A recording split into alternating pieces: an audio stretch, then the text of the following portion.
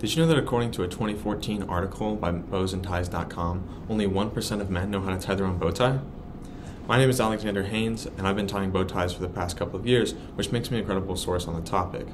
Today, I will be not only demonstrating how to tie a bow tie, but I'll also be sharing some information on things that you should avoid and some things that you will need in order to be successful when tying a bow tie. Now, in order to tie a bow tie, you are going to need a few things. First, and most importantly, you are going to need a bow tie. Second, you will need the collared shirt that you are going to wear with the bow tie. It is important to avoid using a tie and shirt combination that clash or don't go well together. Finally, you will likely need to have some patience. This process can be difficult, but will come with practice. Tying a bow tie is considered to be a unique and authentic skill that sets you apart from people that don't know how to tie their own bow tie or use clip on ties.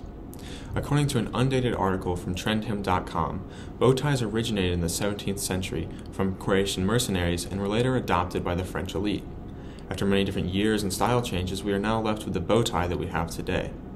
Hopefully, after watching this video, you can join the 1% of people in history that can tie their own bow tie.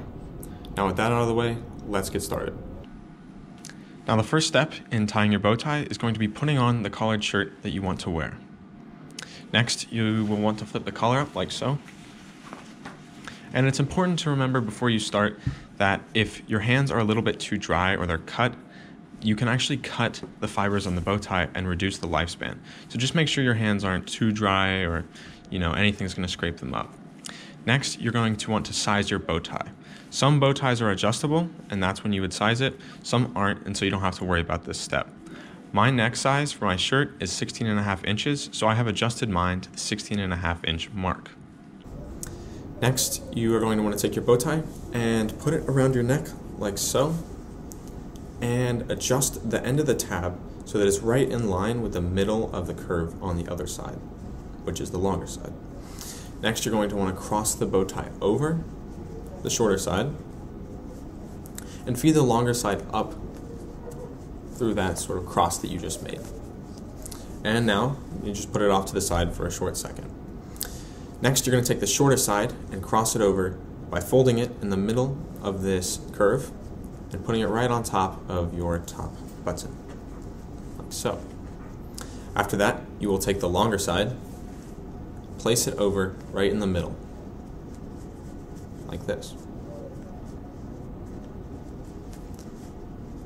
Now, if you've done this correctly, you'll actually find that there's a loop in the back.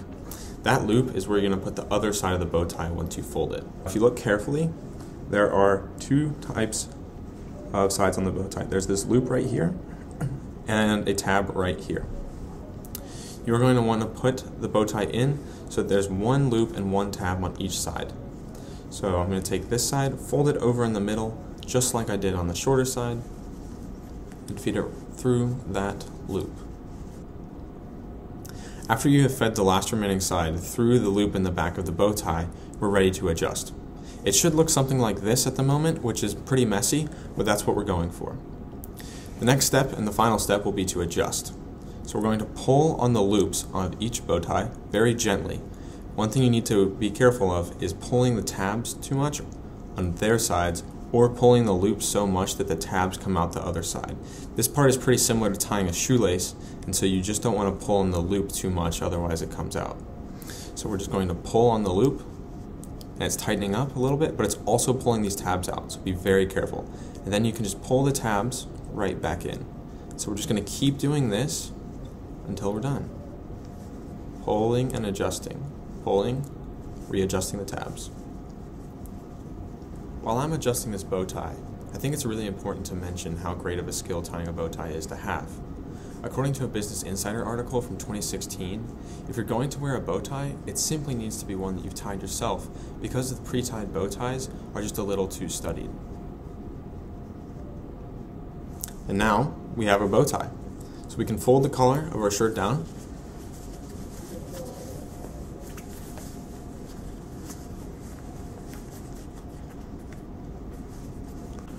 Once you have tied your bow tie and folded your collar down, you can throw on your jacket. Wow, look how good you look. I hope you found this video to be helpful. Just to recap, I demonstrated how to tie a bow tie, and told you about a few things that you should avoid doing and a few things that you will need in order to be successful. Now remember, when your outfit is the talk of your next event, just remember that you were the one that tied your bow tie. Thank you.